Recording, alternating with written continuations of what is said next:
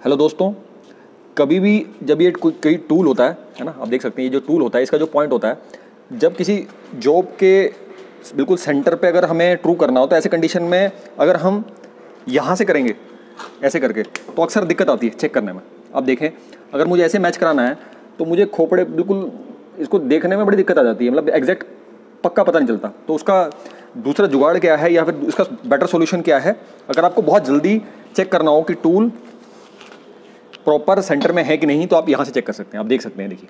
ये ये देखिए। यहाँ से अगर रिवॉल्विंग सेंटर के पॉइंट से आप उसको मैच करा दें तो सबसे बेस्ट पता चलता है कि ये बिल्कुल सेंटर में आया कि नहीं। या तो रिवॉल्विंग पॉइंट के को आप अपने टूल की पॉइंट से मैच करवा दें, या जॉब के सेंटर पॉइंट से टूल का पॉइंट कटिंग पॉइंट मैच करवा दें, दोनों बात सेम है। तो अभी फ़िलहाल ये थोड़ा सा नीचे है, इसको थोड़ा सा हम ऊपर करते हैं और इसको एकदम सेंटर पे टू करते हैं। ये इजी काम है। थोड़ा सा ऊपर रखना, कसते हुए हम नीचे आएगा वो। थोड़ा सा ज़्यादा हो गया। बात अब यहाँ कसो बात कर दो पूरा। ये देखिए। ये बिल्कुल हमारा ओके टू हो गया। तो नेक्स्ट टाइम कभी भी आपको जो टूल है, बिल्कुल सेंटर में पॉइंट करना हो तो बेटर है। रिवॉल्विंग सेंटर लगा हुआ तो इससे ट्रू कर लें।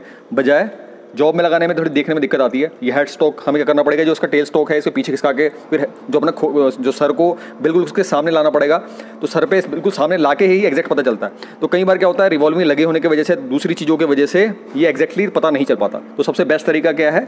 यहाँ रिवॉल्विंग में इसको ट्रू कर लो तो ऑटोमेटिक ये इसके जॉब के सेंटर में आ जाएगा।